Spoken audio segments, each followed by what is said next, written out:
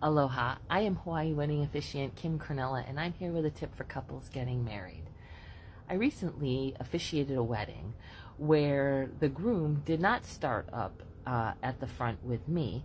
Normally, when I officiate weddings, the groom always, uh, if the couple doesn't both start up uh, with me uh, where the ceremony spot is, then at least the groom does, and then the bride makes her entrance or one of the couples. If it's a same sex couple, then the other, sometimes they make a grand entrance.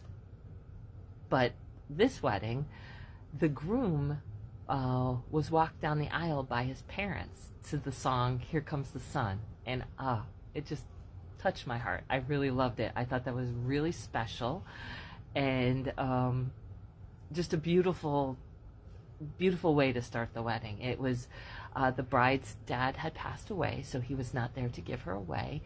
And it was just um, a different start to the ceremony. And so he, the they had um, bride and groomsmaid, uh, bridesmaids and groomsmen, and they came down the aisle first.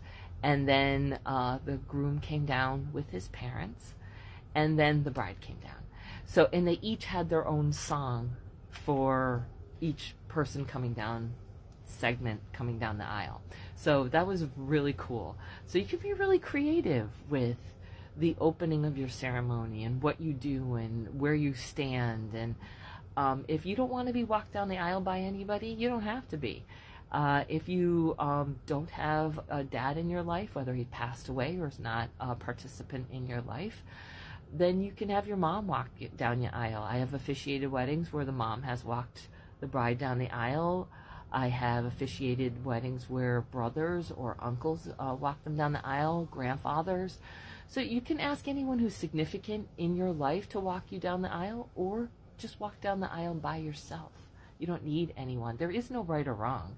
Uh, it's really whatever you want, whatever you're comfortable with. So be creative, uh, express yourself, let, let the ceremony represent you. There is no right or wrong. Do what makes you happy and will be a meaningful addition uh, to celebrate your love and uh, to make your day a uh, day that you won't forget. If you have any questions about getting married in the state of Hawaii on the island of Oahu, contact me. I'm wedding officiant Kim Crinella. I officiate weddings anywhere on the island of Oahu. I also offer a Just Make Us Legal wedding that's similar to a courthouse style wedding at my Kapolei office. My website, weddingsonoahu, has Com, offers really great helpful tips for couples that are getting married in the state of Hawaii, specifically on the island of Oahu.